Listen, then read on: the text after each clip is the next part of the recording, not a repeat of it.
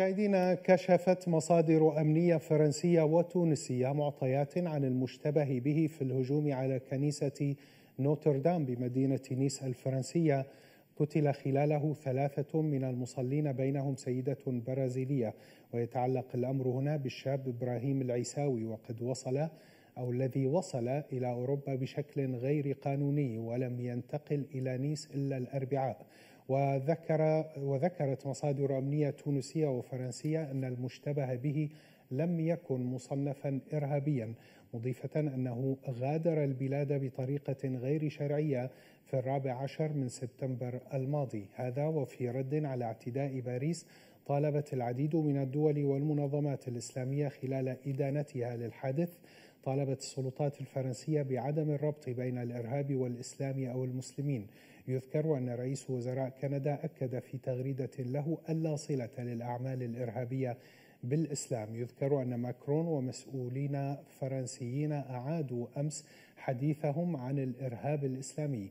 هذا وعقد مجلس الدفاع الفرنسي اليوم اجتماعا استثنائيا. اتخذ إجراءات خلاله لتعزيز الأمن في البلاد والنظر في إمكانية ترحيل أربعة ألاف مشتبه به في الإرهاب. مشاهدينا للمزيد أرحب بضيفي عبر سكايب من باريس دكتور عبد المنعم يوسف الباحث في الشؤون الأوروبية. أرحب بك دكتور عبد المنعم. كيف يبدو لك المزاج الفرنسي بعد هذه الحادثة في نيس؟ مساء الخير. لا المزاج المزاج الفرنسي هو مزاج متوتر ومزاج مستاء نحن نتكلم عن المزاج الفرنسي العام. المزاج مزاج الرأي العام الفرنسي والمواطنين الفرنسيين من كل الطوائف والملل والإثنيات. المزاج الفرنسي الداخلي إن كان على مستوى المواطنين الفرنسيين الذين نلتقيهم في الشوارع وفي وفي المتاجر وفي الإدارات الرسمية أو كان المزاج الفرنسي على مستوى السياسيين والإداريين والمزاج السياسي من كل من كل من كل الشرائح السياسية. يعني من من أقصى اليسار إلى أقصى اليمين هو مزاج متوتر ومتوتر جدا. وقلما وقلما نحن نعيش في باريس منذ فترة طويلة وأنا أحمل الجنسية الفرنسية وبناتي وعائلتي متولدين في فرنسا. قلما قلما مر على فرنسا هذا الجو الهستيري المتوتر المتشنج. إلى أي مدى الإعلام الفرنسي بتغطيته لهذا الحدث ساهم في هذا التشنج والتوتر؟ طبعا طبعا طبعا. أنا سوف أجيبك يا صديقي الكريم بكل بكل أريحية. اليوم اليوم مثلا صدر من بعض من بعض السياسيين الفرنسيين وتناقلتهم كل وسائل الإعلام، وسائل الإعلام الفرنسية تصب الزيت على النار، لكن بشكل مقصود ومدروس. حادثة نيس بالأمس أدخلتنا إلى درجة إضافية من التشنج، الحقيقة هو التشنج في فرنسا بدأ مع محاكمة الإرهابيين الذين اعتدوا على مقر وعلى إعلاميين شارلي إبدو. وهذه المحاكمة كما تعلمون وتعلم أنت جيدا أستاذي الكريم هي بدأت من حوالي خمس أسابيع.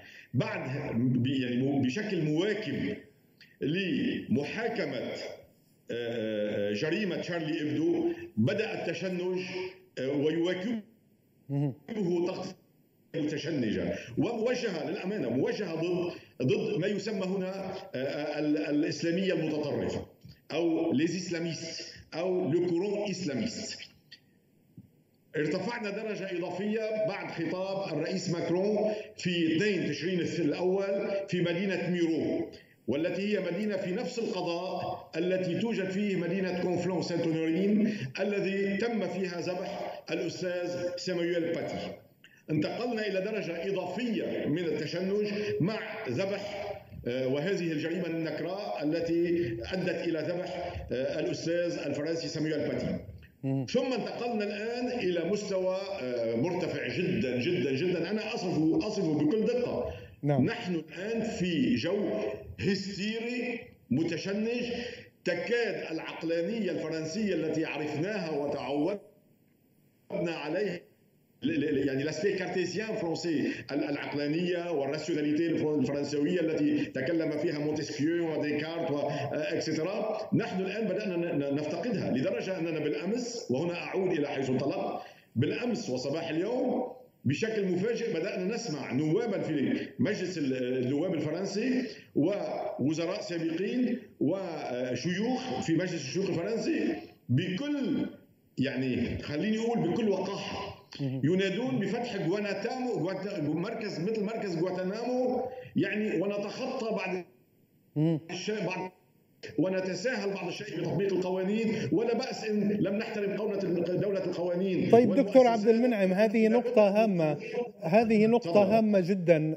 لماذا؟ فعلا هناك من نادى بفتح مراكز جوانتانامو هل تصدق يا صديقي أن الدولة الفرنسية دولة القانون ودولة حقوق الإنسان يخرج منها سياسيين رؤساء أحزاب سياسية يمينية مثل مارين لوبين تنادي صراحة بإعلان قانون الحرب؟ يجب أن نبدأ بتطبيق قانون الحرب. للوا دي جير نفتح ونفتح ونفتح مراكز مراكز جوانتانامو هذا الأمر غير معقول. يعني يعني ربما ربما يفهم إذا علمنا. ربما يفهم من اليمين المتطرف هذا الموقف. ولكن السؤال لماذا تصر فرنسا الرسمية؟ آه، الرئيس الفرنسي والمسؤولين آه، لديه. لماذا يصرون على هذا التصعيد وعلى آه، لصق الإرهاب بالإسلام نعم. والتي بدأها ماكرون بوصف الإسلام بأنه في أزمة. صحيح. صحيح. صديقي الكريم جيد جدا وأشكرك على رفع هذا اللبس حضرتك هذه الجملة الأخيرة التي قلتها. الرئيس ماكرون وصف أن الديانة الإسلامية والدين الإسلامي يمر بأزمة ويمر بأزمة على نعم. مستوى الكرة أنا أذكر précis كلمة بكلمة وح وح وأيضا في بعض الدول التي هي بأكثرية إسلامية ونظامها إسلامي. هذا القول أنا أظن هذا كان قول غير صائب. أنا أكلم من باريس وأنا أتكلم بكل حرية. نعم. وأنا رجل مسلم ومواطن فرنسي مسلم. أنا مواطن مواطن فرنسي. وأنا أرفض أن أن يطلق علينا كلمة الجالية الإسلامية في فرنسا، نحن لسنا جالية، نحن مواطنون فرنسيون. لنا لنا كل الحقوق وعلينا كل الواجبات. سؤالا ردا على سؤالك لماذا فرنسا تقوم بهذا الأمر؟ أنا بتقديري هناك سوء إدارة لهذه الأزمة. وسوء هذه الإدارة وسوء الإدارة لهذه الأزمة مرشح أن يؤدي إلى تشنج إضافي. هل هل هل سوء الإدارة هل سوء الإدارة؟ الإدارة الفرنسية. دكتور عبد المنعم فقط فقط للتوضيح. هل سوء الإدارة هذا آه، مقصود أم ناتج عن آه، إخفاق؟ لأنه بالأمس الرئيس الفرنسي تحدث بكلمة خطيرة جدا عندما قال بأنه آه، سنحمي مواطنينا الكاثوليك. هذا الفرز وهذه التفرقة والتقسيم المجتمعي نعم. إلى أي مدى يضر بالسلام الاجتماعي في البلد؟ هذا موضوع وهو وهو يساهم. يا سيدي الكريم هو مضر. وهو يساهم يساهم بجو التشنج القائم ويساهم بهذا الضغط المعنوي. le harcèlement moral. هناك ضغط معنوي الآن يعاني منه المسلمون في فرنسا. المواطنون المسلمون الفرنسيون المسلمون بدأوا فعلا يعانون من ضغط نفسي سببه هذه العبارات وهذه الخطابات. وأنا أقول لك وأقولها بكل بكل جرأة هناك سوء إدارة لهذه الأزمة. سوء الإدارة هذا ما هو سببه؟ سببه هذا الإرباك وهذا القلق التي وجدت فيها وجدت نفسها فيه الإدارة الفرنسية الرسمية الآن يا صديقي الكريم ماذا رأينا؟ الجريمة الأولى التي حصلت التي حصلت أول جريمة حصلت آه، نعم. آه، من خلال على المقر السابق لشارل إبدو من حوالي أربعة أسابيع أو خمسة أسابيع نكتشف أنه ليس مواطنا فرنسيا هو شخص عامل من الجنسية الباكستانية وعمره 25 سنة لا يحمل الجنسية الفرنسية يحمل إجازة عمل فرنسية. الذي ذبح الأستاذ الفرنسي وهي جريمة نكراء هو أيضا ليس مواطن فرنسي وليس مسلم فرنسي. هو مواطن تشيتشاني مولود في موسكو ويحمل إجازة إقامة إقامة سكن لمدة عشر سنوات لكن ليس مواطن فرنسي. هذه المعلومات مهمة جدا يا صديقي. والذي ارتكب جريمة الأمس في, في, في نيس. نعم. هو ليس مواطن فرنسي وهو رجل قطع الحدود بشكل غير شرعي. وهو رجل يعني ايميجري كلونديستان يعني هو قد مر من الحدود الإيطالية للحدود الفرنسية ولم يقم في فرنسا أكثر من ساعات قليلة.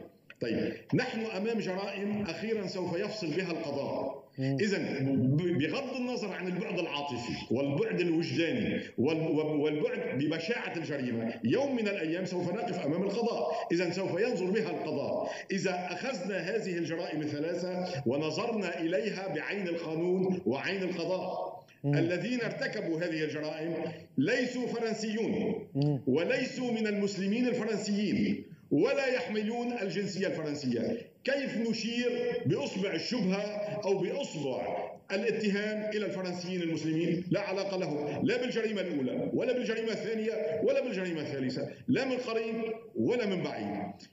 ولم يكن هؤلاء المجرمون الثلاثة لهم أي سوابق معروفة لدى السلطات الاستخباراتية ولدى البوليس الفرنسي، إضافة إلى ذلك نعم لغاية هذه اللحظة لم تصدر عن أي جمعية إرهابية في العالم أي تبني لهذه العمليات، أنا لا أدافع عنهم، هذه جرائم نكراء، نعم. لكن أنا أحب أن أقول أن فرنسا اليوم صحيح هي عرضة لهجوم من منظمات إرهابية مسلحة أصولية راديكالية لكن من خارج فرنسا وليس من الداخل الفرنسي. نعم. من داخل فرنسا المواطنون الفرنسيون المسلمون لم يقوموا وليس لهم علاقة بأي من هذه الجرائم. هل هل تشعرون دكتور عبد المنعم أخيرا هل هل تشعرون في فرنسا بأن هناك حملة منظمة أو شيء ما في الأفق يستهدف مسلمي فرنسا. نعم نعم. هناك هناك اليوم هناك هناك هناك توجه مدروس ومقصود من بعض وسائل الإعلام وأيضا من بعض من بعض الأحزاب السياسية بالتحديد الأحزاب اليمينية واليمينية المتطرفة. والآن دخلنا بمزايدات سياسية وهذه المزايدات الآن تدفع بسوء إدارة هذه الأزمة. نحن على أبواب من هنا ل 14 شهر سوف تبدأ الانتخابات الرئاسية الفرنسية. واحد أحد المواضيع الهامة التي سوف تكون مناقشة وسوف تلعب حجر الروحة في الانتخابات الرئاسية القادمة بعد شهر بعد سنة وشهرين هي الوجود الإسلامي والطقوس الإسلامية والمظاهر الإسلامية في الشوارع. إذا هذه المزايدات وهذه التحضيرات للخطابات الانتخابية هي سبب أيضا في آه، في العمى يعني العمى هناك هناك من أصابهم العمى نعم بسبب التحضيرات الانتخابية شكرا لكن لكن لكن هل هل لدي دقيقة إذا سمحت؟ تفضل بس بسرعة لو سمحت. الوجود لن نحن لا, لا يمكن لأحد أن ينفي وهذه حقيقة وهنا أيضا بعض الأخطاء الفرنسية.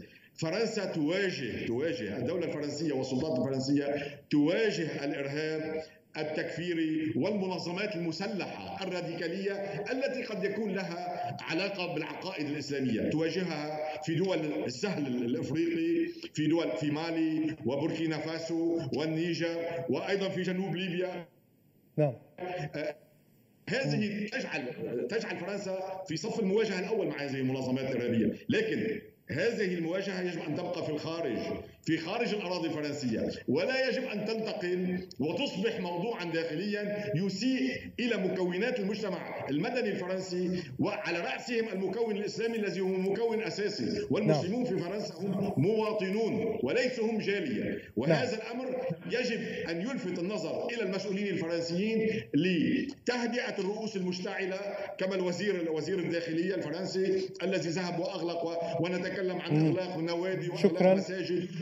نعم طيب. شكرا لك. للأسف الوقت داهمنا. شكرا لك دكتور عبد المنعم يوسف الباحث في الشؤون الأوروبية. كنت معي عبر سكايب من باريس.